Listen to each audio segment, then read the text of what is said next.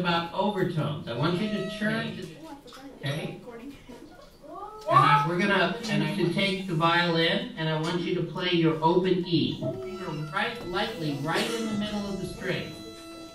Second line.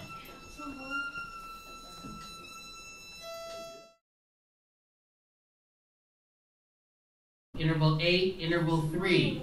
Well, those are the, those are the, from sort of inside the note, inside the string. Well, let's look page. Let's look back, look back at the music on the first page.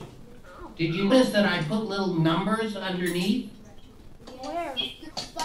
Now that's called figured bass. And that's, and that's the method that they use, all the great composers use that for many, many years. To show us is that when we were playing that bass, that if we put those up, you just looked at from your harmonics, that that all this dum bum bum bum ba da da. Now, you notice it's something the things where you can make music, but you're making music by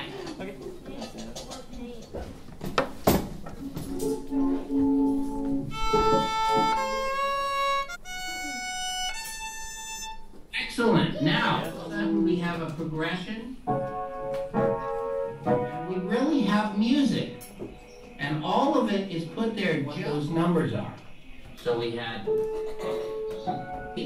we had three, five, seven, and then we had three and five.